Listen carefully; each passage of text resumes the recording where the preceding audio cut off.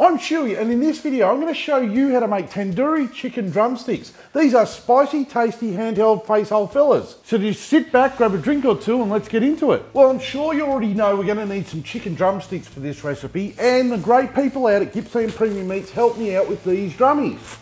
Now you can use chicken thighs if you have something against drumsticks. To prep the drumsticks for the marinade... You shouldn't be dealing with sharp knives. That was aggressive.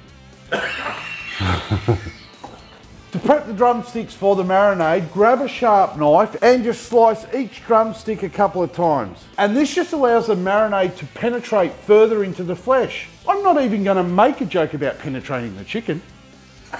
to make up the tandoori marinade is pretty easy. Into a large bowl, add some plain yogurt and some other stuff. Mix that up and add the chicken.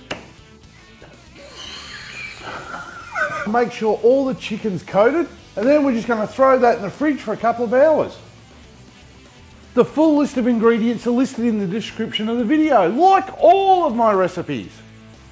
Duh. Today I'm going to be using a 57 centimeter Weber kettle and I'm going to be pairing it up with a Kettle Kone. Why? Because I want to be cooking at temps of 240 degrees Celsius and above today. And how I'll do that is by three quarter filling a chimney starter with briquettes. I'll light them up and once they're fully ashed over, I'll grab my Kettle Kone.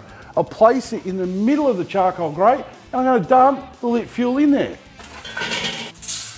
And then throw the grill on and put the lid on, opening all the vents and we're going to allow that to warm up for 10 minutes. Now if you don't own a Kettle Kone or a vortex, you can use two charcoal baskets pushed together in the centre of the charcoal grate. You are going to need a full chimney of briquettes though to get the same level of heat. The grill is nice and hot so we can get the drumsticks on the heat. So just put them on the outside of the grill because this is where that high heat from the Kettle Kone is being forced. And just pop the lid on and we're gonna let them cook for 45 minutes. This would be a great time to subscribe to the channel. And while you're there, hit that bell button. Why? I say it every week, just go and do it. Today, I'm cooking with a high indirect heat of 240 degrees Celsius and above today. These tandoori drumsticks are only gonna take 45 minutes to be cooked to 74 degrees Celsius internally. Or if you like using my beer timer, you're looking at a two beer cook. Two beers at once or one after the other. That's your call. If you didn't know, the Weber lid vent creates a hot spot as the cold oxygen is sucked in through the bowl vent over. If you didn't know, the Weber lid vent creates a hot spot as the oxygen is sucked in through the bowl vent over the charcoal, over our food and out that lid vent. So to ensure an even cook, I recommend turning the lid a third of the way every 15 minutes during the cook. Or don't turn the lid and overcook some of your chicken. That's your call. Time's up. Time to get the chicken off the heat.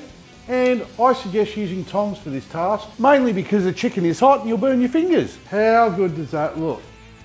Tandoori chicken. Yum. Quick, easy, and as always, so tasty. These are seriously that good, they should be illegal. Mm. As always, cheers for watching.